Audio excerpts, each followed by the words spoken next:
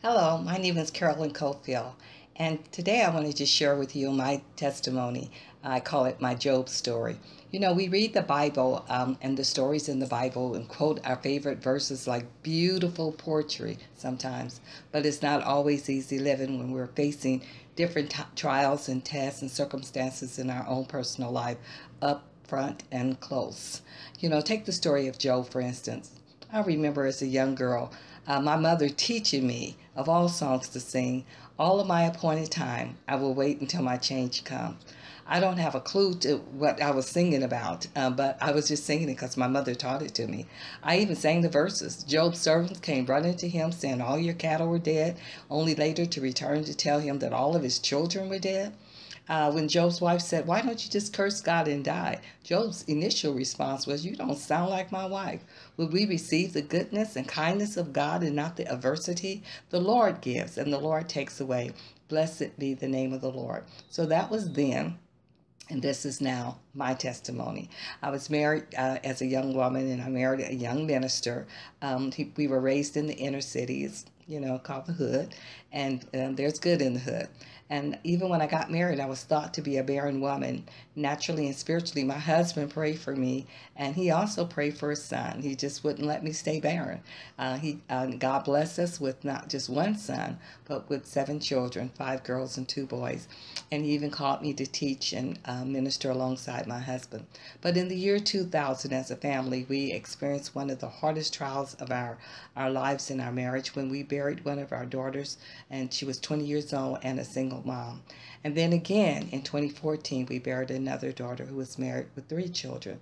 I've learned so many life lessons from the book of Job, one being that we own nothing. You know, we're just called to stewardship. We steward, we don't own anything, but God owns everything.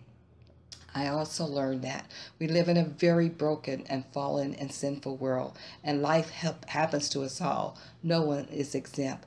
I've learned it's not what we go through, but it's how we go through and how we come out on the other side. Learn that pain is pain uh, but I also learned that pain has a purpose more than just to hurt. You know, um, I've learned that um, that we can take that pain and we can sow it back into the kingdom for um, a higher purpose.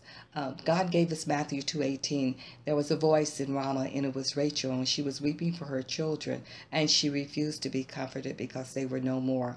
And from that scripture, we began a ministry to serve teen and single moms. Couldn't bring our daughter back, but we surely could help somebody else.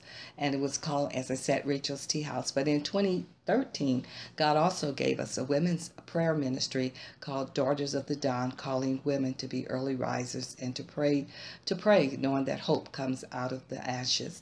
In the midst of Job's tragedies, he, you know, he initially made a godly response, but then life kept happening.